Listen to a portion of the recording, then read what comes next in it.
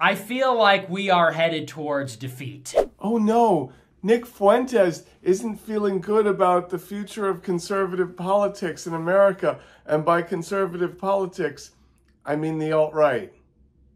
And I think this is a sentiment which is shared by almost anybody who's not on the Trump camp, which is that unless we get really, really lucky or unless something significant changes, we are most likely going to lose. And it just doesn't feel the same. It doesn't feel like it did in 2016. It doesn't feel like it did in 2020. And it's more than just an intangible sensation. There's no momentum. There's no enthusiasm. There's no excitement. Everybody is absolutely demoralized. It feels like the left is unstoppable. And all those feelings are valid. It's funny because this clip shows that there is actually no self reflection with regards to the conservative movement. Nick Fuentes is saying, well, oh, people aren't excited. Well, is it possible that people aren't excited because they don't like what you're offering? Do you think this should be a Christian country? Oh, I do. I do. We were founded on God, and Democrats are taking them away taking them out of the school. How about reconciling separation of church and state, which we were founded on? And I don't think that's right. I do not think that's right. They should have never did that. Why would you take something as beautiful as America that we founded God on?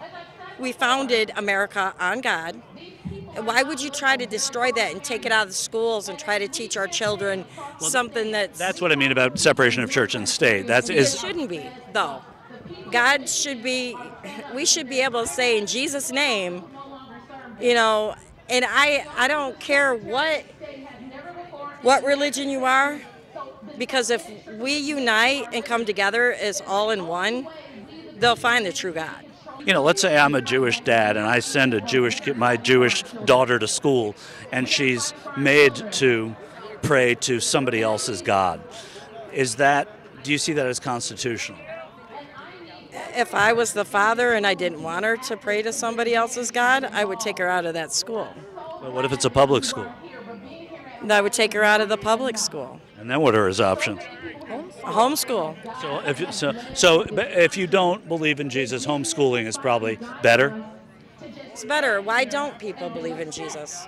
You come to this country, accept our beliefs, accept what we are, accept who we are, or don't come. And that's not to be mean. It's just to say, don't come here and try to change our country to your beliefs. That's what I see them trying to do. This is actually kind of funny for Nick Fuentes to say the left is this unstoppable force, given how the Democrats have terrible messaging. Like, I've said this a million times before, like, bad messaging. He's saying, like, we're this unstoppable force. In spite of all of that, it really goes to show that you actually have to have a plan for your party moving forward. Transphobia, xenophobia, homophobia, that's only going to get you so far, right? And this is really funny given how Elon bought Twitter and let all of the alt right, all of the anti vaxxers, all of these people back on board.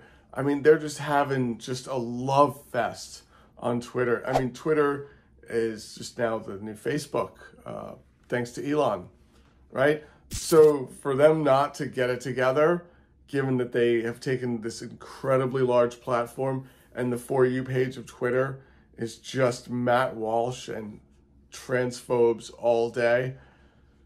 Whew, it's saying a lot. So I'm going to say it now, and you're never going to hear me say this ever again.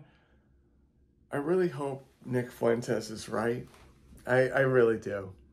Uh, I said it. Oh, okay. I'm going to go scrub myself until I bleed and wash my mouth. Yeah, I feel icky.